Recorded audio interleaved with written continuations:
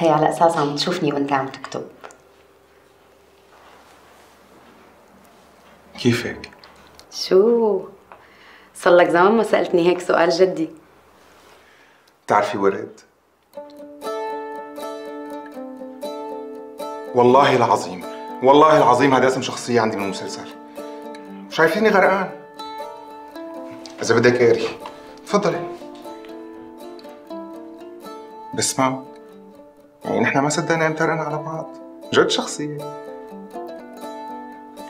طيب رح غير الاسم. منيح؟ ما بدي اكذب وهي ما عاد محتملة حدا يكذب عليها. أنا حقير وكلب وتافه وأناني وما عندي صبر ولا احتمال ومزاجي وعصبي وتنافسي وبحبها لورد وبنفس الوقت بغار منها. لك كل نهار عم فكر فيها. ما عم بقدر شيلها من راسي. ليش؟ كيف؟ شلون؟ ما بعرف. بس كمان بنفس الوقت يعني ما بحبها تنجح. بحسها ناجحة أكثر مني بجوز يعني. وليه؟ هي أول مرة بعترف. لك شو هاد؟ أنت ما بدك تحكي؟ تعادوا منيحة.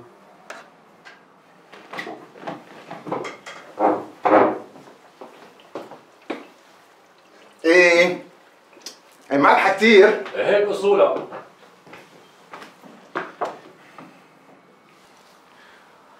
أنت ما بدك تحكي شيء؟ هلا كل هدول مرضين السرطان ولا نحن قاعدين هون عند دكتور نسائي شوفي هالنسوان كلياتها؟ حامل وفرحانة ومتجوزة. إلا أنا حاملة كتلة وبس. ليش هيك يا الله يا ورد ليش هيك؟ ممكن تأجلي المأساة تبعك شوي؟ الكتلة طبيعية ما فيها شيء. بعدين كل البنات عم يطلع لها كتل بصدرها عادي لا تكبري الموضوع. انت لأنك مكركبة بهالفترة عم تحسي. لك أنا ما عشت يا ورد. كيف بدي موت وأنا لسه ما عشت؟ ما رح تموتي. هي علينا. لك ما رح تموتي. رح تعيشي وتعيشي. ورح تعملي كل الشغلات اللي إلك من الصبح صار على رأسي فيهم وعم تعدي لي إياهم. خلاص. بتعرفي هلأ شو أكثر شيء عم فكر فيه؟ إنه أنا ضليت كابتة حالي طول هالوقت عن ألف شغلة وشغلة حابة إني أعملهم وساويهم هلأ حاسة إنه إذا طلع ما معي شيء بدي ساويهم كلياتهم دفعة واحدة.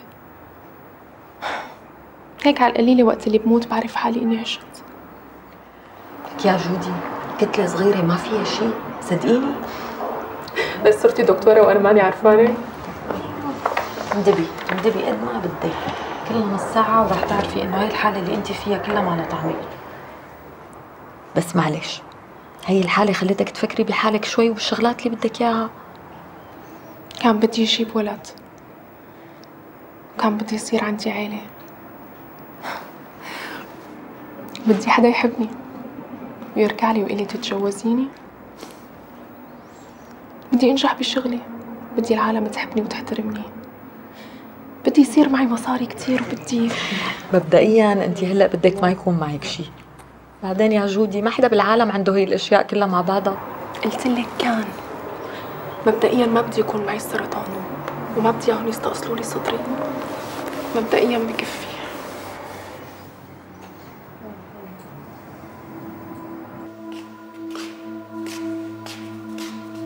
خليكي هون.